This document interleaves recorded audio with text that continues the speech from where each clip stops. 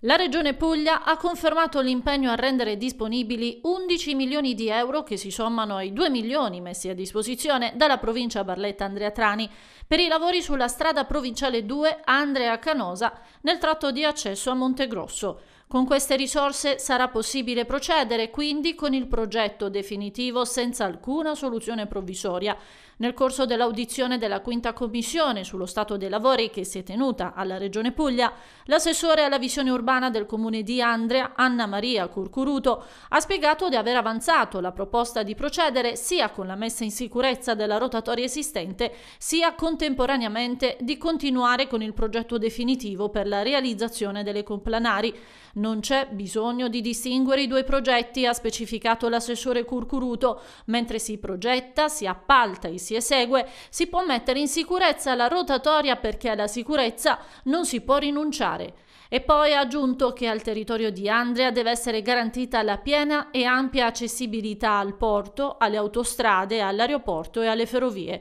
E mentre il consigliere regionale del PD, Filippo Caracciolo, ha chiesto di costituire una task force per dare subito avvio efficace alle operazioni, L'assessore Curcuruto ha rappresentato la necessità che il comune andriese riceva una nota specifica da parte della Regione Puglia che informi sul finanziamento reso disponibile un atto indispensabile per approvare il progetto, soprattutto in relazione alle eventuali procedure espropriative che il Comune si troverà a compiere.